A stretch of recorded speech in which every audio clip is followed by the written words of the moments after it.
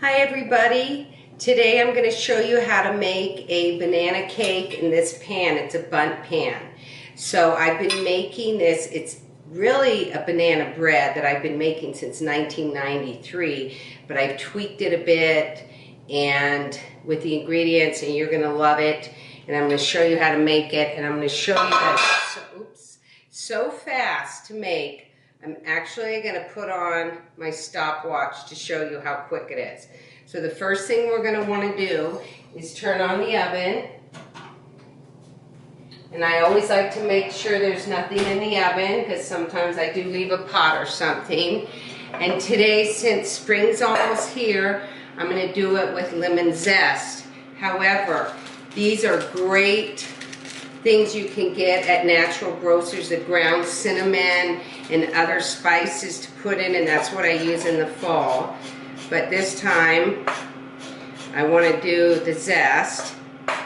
And the reason I'm zesting it before is why I'm doing zesting as my first uh, chore ingredient is because what I found is if you put the bananas in a blender rather than ma mashing them up, it makes a banana cake, but you don't have all the heavy uh, butter and other ingredients. So we've got our zest. So now I'm going to put in four bananas that are about medium size. And I make a lot of breads and one time I was pureeing the mango and I thought, wow, I wonder how it would be with pureeing the banana and I just love it. So that's my new way. It does make an extra dirty dish, but it's not the end of the world. So the next thing I do is I put in my flavorings. So I am to put in the juice of this lemon. You always have to use a strainer because you never know how many seeds are in the lemon.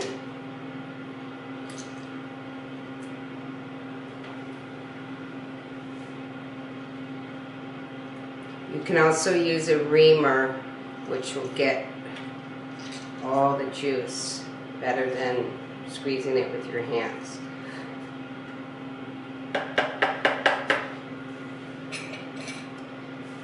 Okay, so then I also put in only a half a cup of sugar for this entire, like let's just call it a cake, but it is a bread.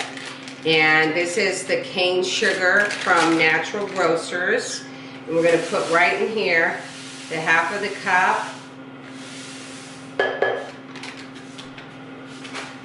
And then what I found is if I also add a half a cup of water, that helps blend it up. And we can add our salt now. It does take a full teaspoon of salt. So here's my measurer. So I might as well get that in too. And I'm using the pink Himalayan salt from Natural Grocers. And it's great, I love it. So we're gonna get that going.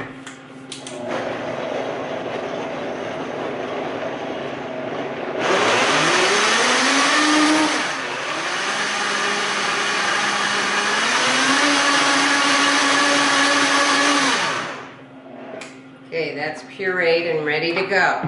So I can move this out of the way. Now we're gonna go to our a bowl. And what I wanna show you are the eggs I use. Okay, these eggs are also from Natural Grocers. They're local from Colorado. They're organic, pasture raised, and they're absolutely delicious. So I put two eggs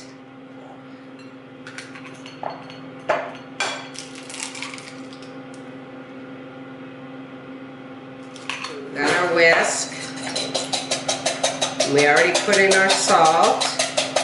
We've already put in our sugar in the banana mixture so we can get that right in because we're also now, after this, going to add our oil. And the oil I like to use is coconut oil. So I use a half a cup of the highest quality coconut oil. You do have to, here I'll mix this up a little bit. You do have to microwave it or get it soft, but I put in a half a cup. And I want to start mixing that right away so it doesn't harden.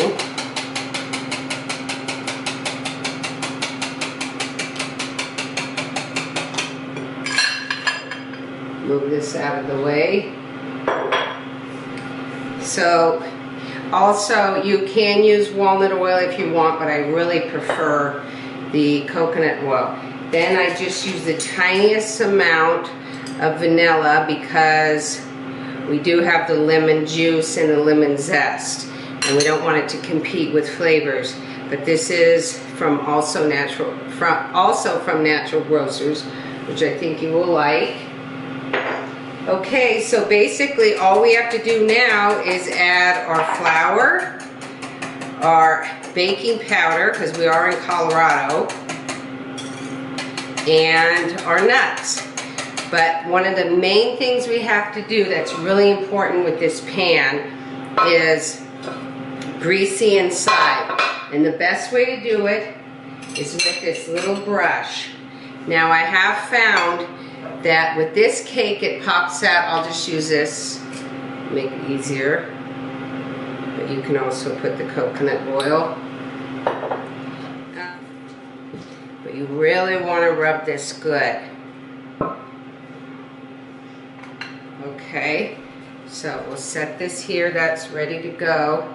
And what I like to use now when I bake is a scale. It's just a lot easier.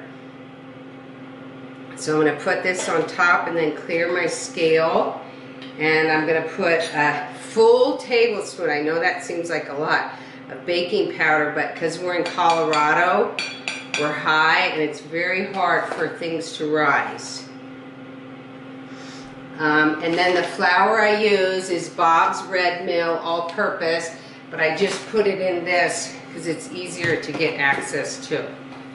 So we're going to put 350 uh, grams flour. So we're at 250. And there we are, 350. So I can take it off the scale and now mix it. I might have to switch to a wooden spoon, but we'll see. So let's just see how many minutes we are in. 8 minutes and 37 seconds.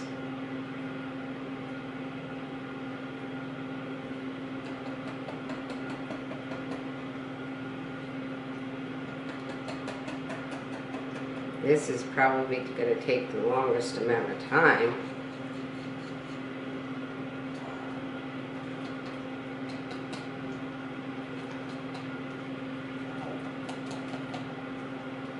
See, I just love to puree the bananas. You can put this in muffin tins or a loaf pan, but I just love this new Bundt pan. And also, when it cooks in the oven, the edges caramelize a little bit, so they're kind of crunchy, like it's just so delicious. Okay, so that's all mixed up. And I did say I was going to put a little bit of flour in here, just to make sure.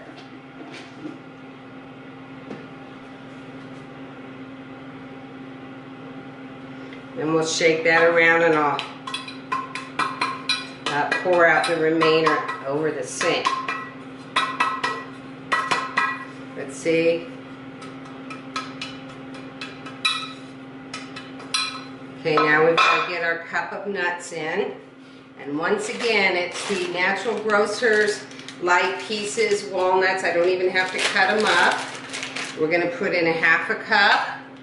Actually, I'm going to put in a whole cup. So this is a half. We'll put in, so there you go. Now I'm going to get a wooden spoon. Just makes it easier. So I hope you guys try this at home. As I said, I've been making it since 1993. That's a long time. And it is a real family winner. Okay? Now we're going to get this in the Bundt pan. That's kind of the most challenging to, to move it.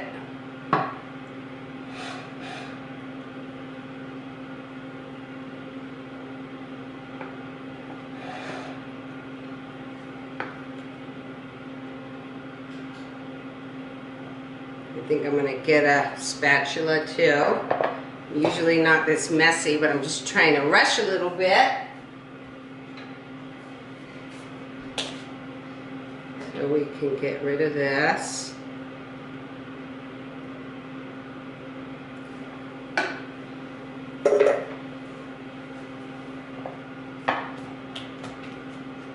So did I say we have to preheat the oven at 350? I kind of move this at the same time as we're pouring it in.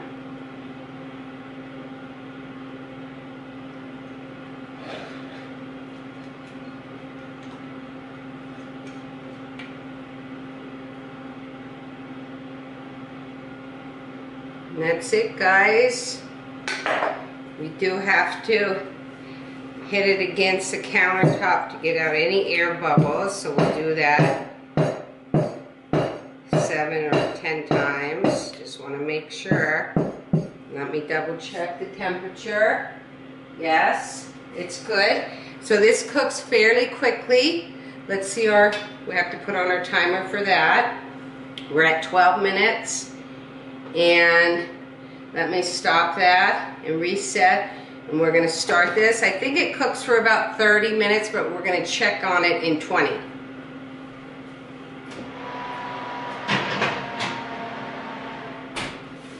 So there you have it guys, your banana bread, banana cake. See you in a bit.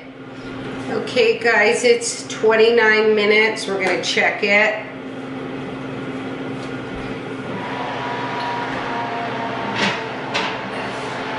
I think it's done. That looks good. So I'm going to turn off the oven. I will test it with a cake tester to make sure. But it looks done. So I'm going to set it on this little rack to cool. And I'll come back in 30 minutes and then we'll turn it over. Okay, the cake's been cooling for a little over 30 minutes. It's still kind of warm, so it might be uh, too early for it to come out, but let's hope it does. I'll put this over the top. The great reveal, let's see.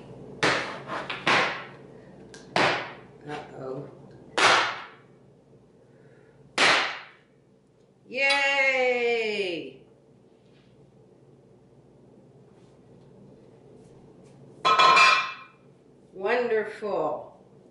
So I've got this cake plate. We can put it on that.